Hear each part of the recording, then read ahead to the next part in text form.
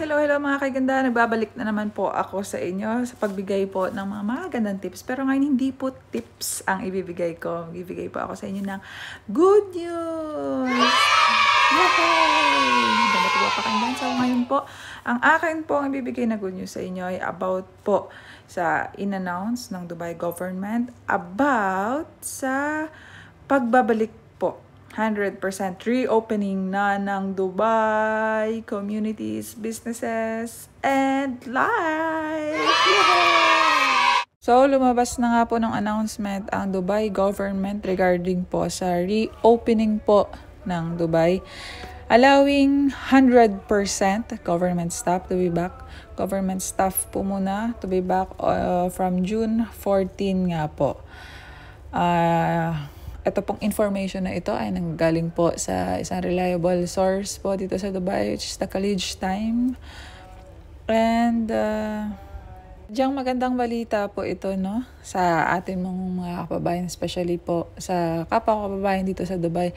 Kasi for almost like two months na po na iilan po sa amin dito ay mawala na pong trabaho. And it's a very, very you know, good feeling to hear na by June 14, may pag-asa ba? May pag-asa na babalik na po 100% ulit sa mga trabaho ang ating mga kababayan at uh, ang hirap po talaga kasi pero thank you, thank you, thank you po sa Dubai government sa mabilis na pagpapatupad, pabilis po na pag-recover po natin dito. At sa cooperation din naman po ng ating mga kababayan at ibang naninirahan po dito, kaya nangyari din po ito. Sa Twitter din po ng isa sa mga ruler po dito sa Dubai, Sheikh Hamdan bin Mohammed po, ay inannounce na nga po niya na noong May 27, nag-start na nga po ang Dubai po ay nag-decide na po na prove ang 50% na balik, balik trabaho po namin offices at saka mga ibang establishment malls po dito. Nag-start na nga po with yun nga lang po ay may mga restrictions lang po tayong sinusunod. Um, and by June 14 nga po, from June 14, 2020, a 100% na po na babalik sa normal ang life natin. Yun nga lang ay may mga precautionary measures lang po tayo na dapat sundin alang-alang din po sa ating kapakanan at sa kapakanan din po ng kapwa natin. Pero mga kababayan, ito'y napakalaki, napakalaking bagay na po para sa atin. Yung mabalitaan lang po natin na, ay, back to normal na, napakalaking bagay na po at uh, laking tuwa po sa puso natin. Dalawang buwan halos, wala po tayong trabaho at ito na po, naway maging okay nga po ang lahat at sumunod lang po tayo sa kung anong patakaran man po ang kanilang uh, ibibigay po sa ang quarantine po tayo na lockdown actually, yung mga pinapatupad po nilang batas, actually, naisip ko talaga na talagang para din naman po sa safety natin. Pag sinabi po talaga nila na na bawal lumabas gantong oras, sadyang sumusunod po yung mga tao. At saka, ang respeto po talaga ng mga nanirahan, mga lokal lang, kahit mga lokal po dito sa government nila. Kudos as in, sobra po talaga. Tapos yung in, wala na pong ana announcement pa sa TV. Alam po yung, yung message lang. Mag, magtutunog lang po, magbibip lang po yung cellphone namin. Tapos basahin lang namin. Kailangan namin sumunod. Mas natatakot po kami actually. Sa fine, sa babayaran namin pag hindi po kami sumunod. Ganun po ka-stricto para lang po sa kapakanan po.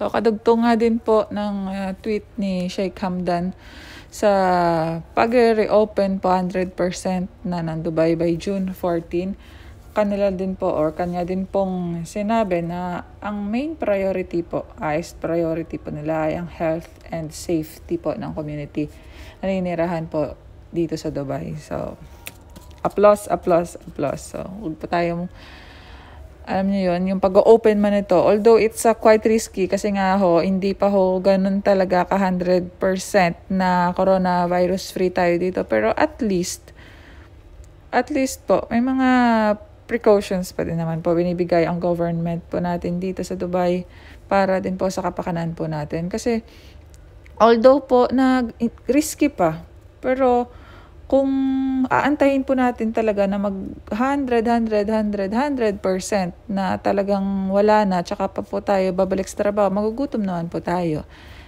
Kami po dito actually sa Dubai, may mga binabayaran po kami bahay, pagkain pa po.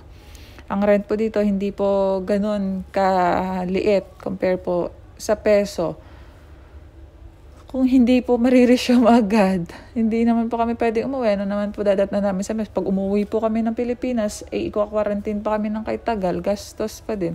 Wala pa kami trabaho. So, papasalamat lang din po. At uh, mabilis ang naging action po ng government of Dubai para po uh, matulungan po ang mga, hindi lang po kami mga kababayan, iba pa pong naninirahan dito na bumalik po sa dati nilang buhay at makasurvive po dito po habang andito kami sa Dubai. Salamat, salamat po. Noon nga pong nag-start nung May 20, so, 27, nag-reopen na nga po ng ating uh, uh, timings dito, business timings from before, nung Ramadan actually. Allowed lang po kaming lumabas dito um, 6 a.m. in the morning hanggang hanggang 8 p.m. lang po. After that, bawal na po kami lumabas. Nang May 27, nag-start po from 6 a.m. hanggang pong 11 p.m. ng gabi. Bukas po kami. So, kaya medyo paunti-unti. So, yun nga po. By June 14, magpapalabas po sila before June 14, magpapalabas na nga po sila ng memo, circular uh, memorandum all over uh, Dubai po na mag-ooperate, full operation na nga po tayo before uh, by June 14, 2020 na po ay matuloy para din po sa atin at sa economy din po ng Dubai. Siyempre, two months po na wala po talaga business. Hindi man po totally wala. Hindi po yung usual na business. Siyempre, kumikita rin po sila. Ang Dubai po actually is uh, tourism po kumikita. Pero ang kagandahan lang po doon, eh, ina-assure po nila yung safety natin. At saka, uh, nag, yung Dubai government po ay nag-commit to fully no, nag-enforce pa yung lahat ng government for the pre- precautionary measures na to protect us. And ang priority po talaga nila is ang health and safety po ng uh, community community po dito sa Dubai. So, salamat, salamat po. So, sa lahat po ng kababayan po dito sa Dubai, maraming salamat po kami sa protection po ibinigay niyo sa amin, sa opportunity po uh, na habang andito po kami. Thank you so much. Salamat. So, yun nga po mga kaiganda. Sadya naman pong kay gandang balita po ito para po sa atin. Ngayon po ay uh, patatapos na po yung may ilang ilang ilang araw na po mag-aantay po tayo sa mga hindi pa po nakabalik ng trabaho. Konting konting pasensya na lang po at mariresume na din po tayo. Salamat. Salamat po talaga na marami sa ru- ruler, mga namamahala, government, sa buong UAE po. Nagkaisa po sila para patupad po ito.